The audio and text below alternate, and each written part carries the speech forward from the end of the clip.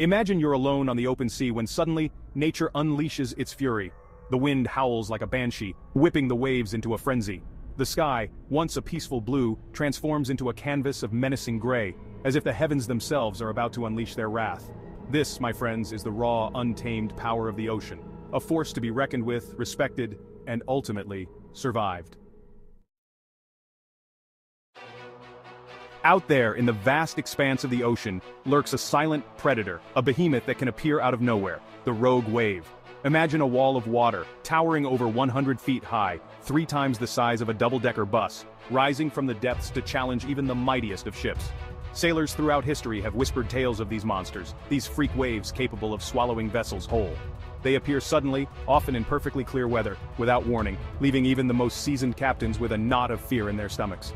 I've heard accounts from fishermen who've witnessed these giants firsthand. They describe the deafening roar as the wave crashes down, the feeling of utter helplessness as their boats are tossed about like toys. The ocean, in these moments, reveals its true, raw power, a force that can humble even the most experienced mariner. One story that sticks with me is that of the oil tanker, the Esso Languedoc, in 1980, off the coast of South Africa, this massive vessel was hit by a rogue wave estimated to be over 100 feet high. It was an encounter that nearly sent the tanker to a watery grave. The crew described the wave as a wall of water, a force of nature unlike anything they'd ever seen. These waves are not mere myths, they are a stark reminder of the ocean's unpredictable nature. They are the stuff of nightmares, a testament to the fact that even in the 21st century, there are still forces in this world that can defy our understanding and leave us in awe of their sheer power. But what causes these monstrous waves? Scientists believe that a combination of factors including strong currents, converging swells and underwater topography, can lead to their formation. They are in essence a perfect storm of oceanographic conditions, a terrifying example of nature's ability to create something so powerful, so unpredictable, Understanding these waves, though, is only half the battle. For those who find themselves facing down a rogue wave, survival depends on a combination of luck, skill, and a healthy dose of fear. It's about knowing your vessel, understanding the limits of both man and machine, and having the courage to face the unknown head-on. While rogue waves are terrifying in their own right, there's another kind of wave that strikes fear into the hearts of coastal communities around the world, the tsunami.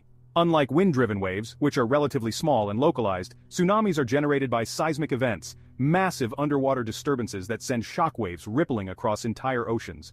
Imagine an earthquake beneath the ocean floor, a sudden shift of tectonic plates that displaces billions of gallons of water. This displacement creates a series of waves often barely noticeable at sea, that travel at hundreds of miles per hour, carrying with them the energy of the initial earthquake. As these waves approach the shore they slow down due to the shallower water but their energy remains constant. This causes the water to pile up, creating a wall of water that can reach heights of over 100 feet, crashing onto land with unimaginable force. History is littered with stories of devastating tsunamis. The 2004 Indian Ocean tsunami, triggered by a magnitude 9.1 earthquake, claimed the lives of over 230,000 people across 14 countries. It was a stark reminder of the destructive power of these waves, how they can turn paradise into a disaster zone in a matter of minutes. The 2011 Tohoku earthquake and tsunami, which struck off the coast of Japan, caused widespread destruction and triggered a nuclear disaster at the Fukushima Daiichi power plant. The images of that day, the sheer scale of the devastation, are forever etched in our collective memory. But amidst the tragedy, there are also stories of survival, of human resilience, in the face of overwhelming odds. There are tales of early warning systems, of communities coming together to rebuild, and of individuals who risked their lives to save others. These stories remind us that even in the darkest of times, the human spirit can endure, they teach us the importance of preparedness, the value of community, and the need to respect the immense power of the natural world. Now if you thought tsunamis were terrifying, imagine a wave so colossal, so immense, that it dwarfs even the most powerful tsunami. These are the mega tsunamis, towering waves capable of reaching heights of over 1,000 feet, generated by events of unimaginable scale. Imagine a massive landslide, perhaps triggered by a volcanic eruption or an earthquake, sending millions of tons of rock and debris crashing into the ocean. This sudden displacement of water creates a mega tsunami, a wave of unimaginable destructive power. Unlike regular tsunamis which are caused by relatively localized seismic events, mega tsunamis are generated by events so large, so catastrophic, that they can reshape entire coastlines. Fortunately, these events are incredibly rare, occurring only a handful of times in recorded history. One such event occurred in Lituya Bay, Alaska, in 1958. A massive earthquake triggered a landslide that sent 90 million tons of rock plunging into the narrow bay. The resulting mega tsunami, the largest ever recorded, reached a height of over 1,720 feet, stripping the surrounding hillsides bare of vegetation. and leaving a path of destruction in its wake. The Lituya Bay megatsunami serves as a chilling reminder of the immense power of nature, of the forces that shape our planet and the limits of our ability to control them. It's a testament to the fact that even in the 21st century there are still forces at play that can dwarf our greatest achievements and leave us humbled in their presence. But the story of the Lituya Bay mega tsunami is not just a tale of destruction, it's also a story of survival. There were survivors, people who lived to tell the tale of that fateful day, their accounts offering a glimpse into the terrifying power of these waves and the resilience of the human spirit. These stories remind us that even in the face of overwhelming odds, there is always hope. They teach us the importance of respecting the power of nature, of being prepared for the unexpected, and of never underestimating the human will to survive. While rogue waves and tsunamis may be the ocean's most dramatic displays of power, there's another type of wave that poses a more subtle, yet equally deadly, threat, the sneaker wave. These waves, often larger than those preceding them, appear suddenly and without warning, catching unsuspecting beachgoers off guard. Imagine yourself strolling along the beach, enjoying the sunshine and the sound of the waves crashing on the shore. The ocean seems calm, inviting even. But what you don't see is the danger lurking beneath the surface, a surge of water building momentum, preparing to strike. Sneaker waves can be deceptively powerful, their energy often masked by calmer waves. They can sweep people off their feet, drag them out to sea or toss them against rocks causing serious injury or even death. These waves are a constant reminder that the ocean is not to be trifled with, that even on seemingly calm days, danger can lurk beneath the surface. They highlight the importance of being aware of your surroundings, of never turning your back on the ocean, and of respecting its unpredictable nature. Footage captured by witnesses often shows the terrifying speed with which these waves strike. One moment the beach is clear, the next a wall of water is rushing in, engulfing everything in its path. The power of these waves is often underestimated, leading to tragic consequences.